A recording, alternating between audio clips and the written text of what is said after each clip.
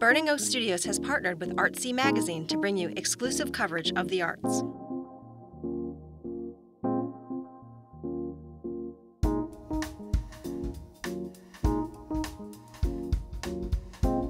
Welcome to another edition of Artsee Live. I'm Greg Shelnutt, your guest host. I'm the chair of the art department at Clemson University, and we're lucky enough today to be here in the studio of John Acorn, noted sculptor of South Carolina. Good to see you, John. And John's going to talk to us about his work, his studio practice, and how it is just being an artist in the upstate. So, uh, John, tell us about some pieces you got around. Well, I have uh, probably uh, too many pieces. I should find some other place to put them, I guess. But this is a very sculptor's problem. right. This is a very recent one. Um, I've done a whole series, and I'm still working on them. I keep thinking uh, in six months or in a year I'll be finished with them. But they're works that are based upon a very simple shape or form of a pistol. And so this one that we're looking at here is is called a uh, charm bracelet of pistols. And uh, the the idea for it was very simple. Uh, my granddaughter Mary was having a birthday, and so I went to select a present for her, and I saw charm bracelets, and I looked at those charm bracelets, and course I purchased one for her for her birthday. But when I saw them, I said, "Man, this is good material for me to take my sort of pistol theme and make a charm bracelet of pistols." So that's what you see here, and it's a variety of images with a pistol of pistols. Uh, Well, one thing I noticed looking at the piece, I see some of the uh, the idea that the, the clips that the carabiners that come on and off. You know, that's the issue. The charm bracelet is the interchangeable pieces. Do you imagine someone uh, taking away, adding to this piece, and you know, as its own exhibit? Uh, I no, but I know, but that's an interesting idea. That that's a good thought. Uh, I actually sort of planned where the pieces go, and these are like the little glass sort of things that are on it. They're just a little piece of beads, glass yeah, beads, yeah. right? This sort of like the glass beads, and then these are the objects. But I really have a. I actually have set up a diagram for if and when anyone would like to exhibit any of this kind of work, there will be a you know little guide to go by because there is a an, an order in my mind as to the way these things fit. How did you establish the gun element in the work? I mean, what what what what brought that up? Uh, it's probably a long story, but I've used uh, I've used a lot of cutouts. In one I saw in um, in a newspaper, like it's it's uh, rather benign. Right. I didn't want it to be a frightening image. I wanted it to to to be a rather pleasant. It's it's almost like the one that kids use to put a rubber band on it. Right. shoot the rubber band.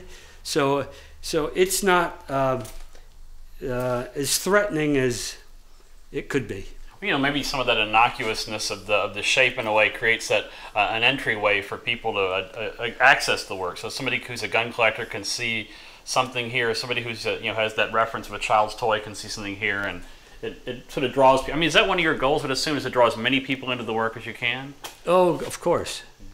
You know, I, I you know, if I could, if I could have an exhibition of all of them in a, in a Walmart or some other big box store or something like that, I'd go for it. That would be These great, do not yeah. necessarily have to be museum oriented, but that's probably, uh, if I can find the right the right spaces, uh, an alternative space that's maybe non-museum would also work well for me because they would be in an environment that the work could be shared by all people, not just people who go to museums. I've always been interested. These guys right here, these Yes, were these, these were the cut yesterday, right? Okay, So- fresh art. Right. So they're cut out of a, you know, uh, out of a cabinet grade plywood. Okay. So they're they're pretty solid. Every once in a while you find a little hole in them, but they're pretty good stuff. And th- so they're each one is cut out individually. okay. So I've cut out thousands and thousands, and then there's any simply guesstimate of how many you've cut over the? It must be. Oh, gee, what's your any rough estimate of how many guns you've cut? uh, I would say I'm probably pushing ten thousand. wow.